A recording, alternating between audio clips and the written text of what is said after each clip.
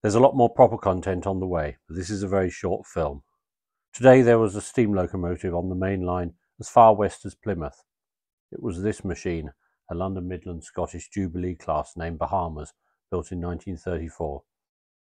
The teenage getaway driver had gone ahead by car, but he sent me a hurried text message saying the train was running 15 minutes early, so my plan to get to Totnes was rather scuppered.